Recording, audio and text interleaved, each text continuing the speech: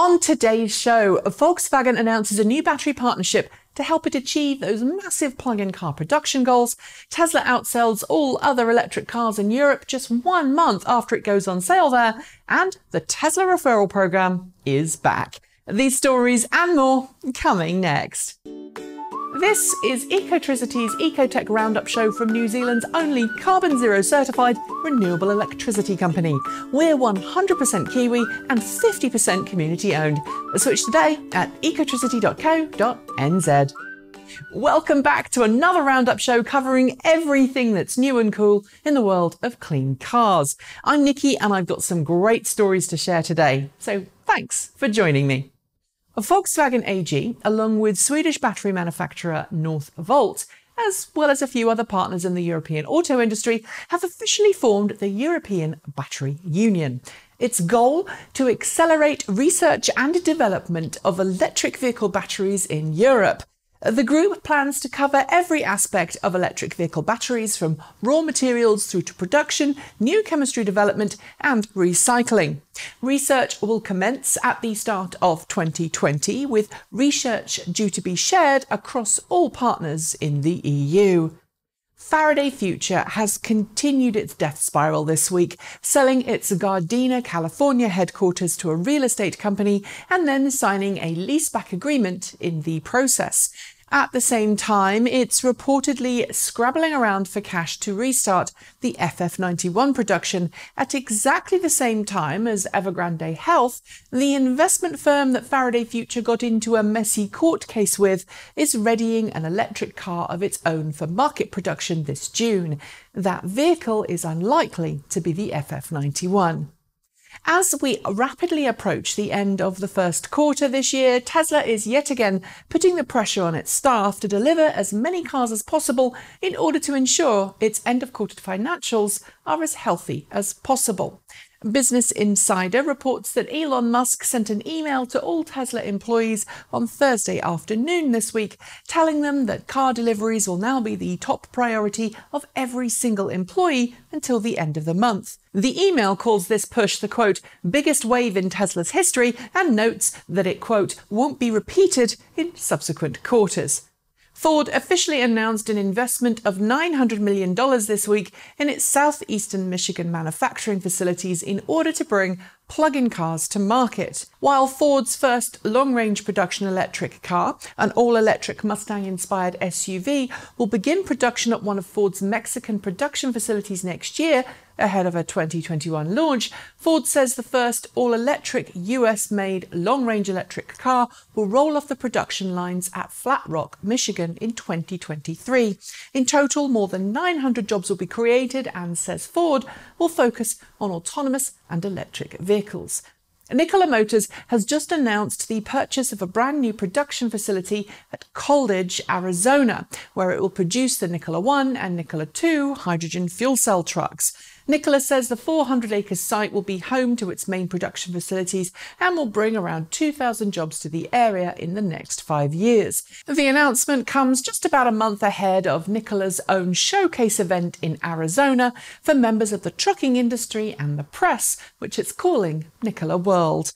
Uh, back in February, Tesla began deliveries of the Model 3 in Europe, working through its order books and wait lists just as it did in North America when Model 3 was launched there. Despite it being its first month on sale, however, the Tesla Model 3 enjoyed a total of 3,724 registrations during February, pushing it ahead of the Renault Zoe, about 3,000 registrations, and the Nissan Leaf, about 2,700 registrations for the same period.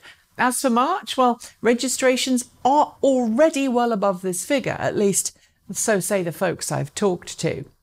Amnesty International used the Nordic Electric Vehicle Summit in Oslo this week to call on automakers to clean up their act when it comes to electric vehicle batteries. Right now, it says battery production has a pretty heavy carbon footprint that's not particularly good for the planet, and many companies use cobalt mined using child labour or violation of other human rights. It wants automakers to become more accountable for the supply chain and the emissions that are incurred when making battery packs. That said, many automakers, including Tesla, Volkswagen, BMW, and others, are now doing everything they can to ensure that they source ethical materials and make batteries with zero carbon emissions. BMW announced this week, as part of its annual accounts press conference, that it will be bringing 12 new electric models to market by 2025.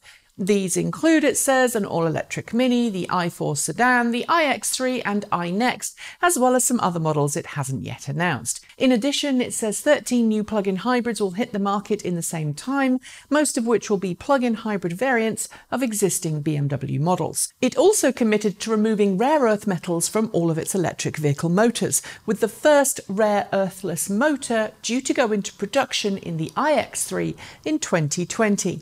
Mercedes Benz has completed the final round of winter testing on its all new e Sprinter commercial van, and it's saying that even in the cold of the Arctic, the all electric van performs just great.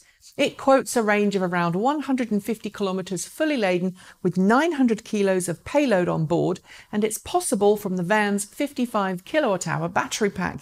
It will also offer a smaller range 41 kilowatt hour battery pack, which increases total vehicle payload by another 140 kilograms, but reduces range to 115 kilometers. I should note that these figures are provisional. General Motors announced on Friday that it will invest $300 million at its Orion, Michigan production facility in order to bring a brand new electric vehicle to market. The factory, where the Bolt EV is already produced, will add an additional 400 jobs as a consequence. The new EV will be sold alongside the Bolt EV and will also be made with a Chevrolet badge. But right now, GM hasn't revealed the vehicle's specs. In New Zealand, we know General Motors as Holden, and it's not clear if the electric car in question will make it here or not. As usual, though, if you'd like to see a Holden EV, make sure you reach out to your local Holden dealer and let them know. After killing its referral program because it cost just too much money to operate, Tesla has launched a slimmer referral program to allow existing customers to earn perks for getting others to buy a Tesla. And what's more, it seems to be a far fairer, more equitable system. Now, when someone uses a referral code to buy a Tesla, both they and the person whose code they've used gets 1,000 miles of free supercharging, as well as one chance per month to win either a Founders Series Model Y or a Founders Series Roadster. But once a prize has been won, they can't win it again, meaning those with massive follow accounts on social media aren't automatically more likely to benefit. Hyundai UK has announced pricing for the Nexo fuel cell sedan. And yes, I said Hyundai, not Hyundai, because, well, it's a UK story. To get your hands on one, you're looking to spend nearly £66,000 after incentives, and you've also got to deal with a far less developed fueling infrastructure than you would have if you bought a plug in car. In related news, two Nexos joined the Modo car share service in Canada, but right now you won't be able to buy one of your own if you're north of the 49th. And finally, Oregon based Arcimoto has been busy lately readying its three wheeled, two seat fun utility vehicles, or FUVs, for market, producing limited numbers of its Founders series ahead of more sustained series production. And this week it introduced a new variant to the family, the Deliverator, an Arcimoto FUV that replaces its rear seat with a cargo box that's capable of carrying up to 350 pounds of weight Arcimoto will sell the Deliverator in the US for the equivalent of around 30,000 Kiwi dollars, and production will be due to begin next year. It's not clear if it will make it to New Zealand, however. And on that note, I'm going to say goodbye. And don't forget to like, comment, and subscribe. You can tell your friends about the show, and if you've got some feedback, then send it our way. We love hearing your thoughts. Make sure you also hit the notification bell so you don't miss out on our next episode. And while you're at it, why not switch to New Zealand's only carbon zero certified renewable electricity company? Get your home, your business, and your car, uh, if it plugs in, running on 100% zero emission electrons. Thanks for joining me. I'm Nikki Gordon Bloomfield. Ka kite. See you next time.